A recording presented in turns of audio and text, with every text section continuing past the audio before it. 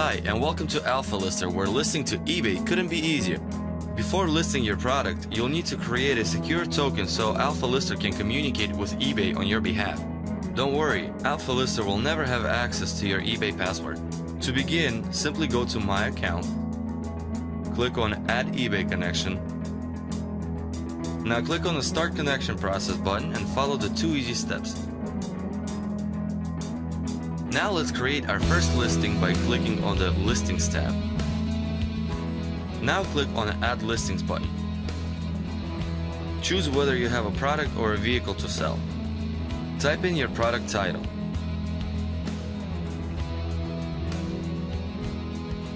You can also enter your listing subtitle.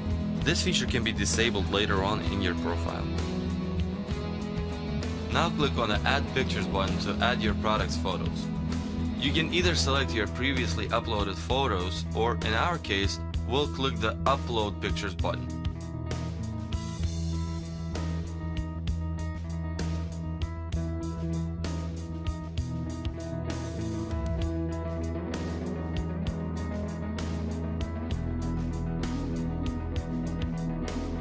Now let's type in your product description. This could be a fairly simple and short description.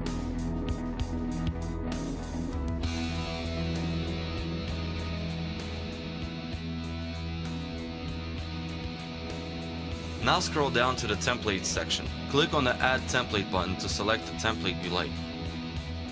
Let's say you like this one. Click on it.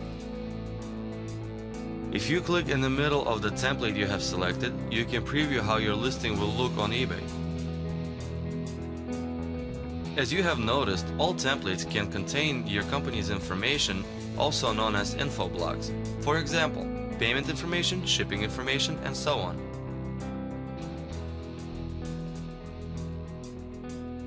Now you can add info blocks to your template by clicking the Add Info Blocks button. You can also choose any hit counter by clicking this button. Now let's scroll down to the Profile section, which will save you a lot of time in the long run. Click on the Edit button. Change your listing profile name to whatever you like.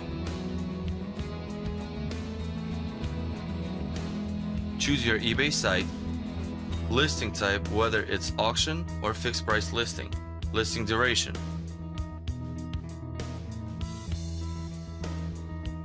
payment information, whether it's PayPal, credit card, and so on.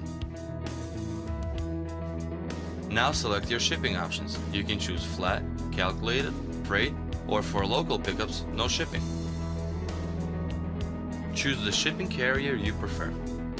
For shipping pricing, choose one of the custom attributes that can be used when creating a listing with this profile.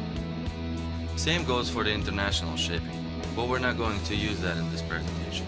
For the returns, you can select whether to accept or not. Hit the Save button. Now select the eBay category where you want your product to appear.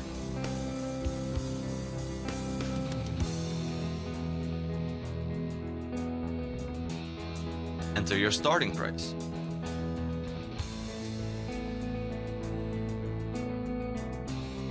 You can also add different item specifics by clicking the corresponding buttons.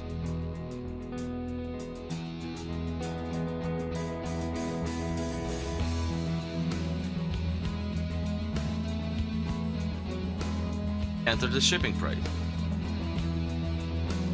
Keep in mind the attribute you have selected previously in your profile.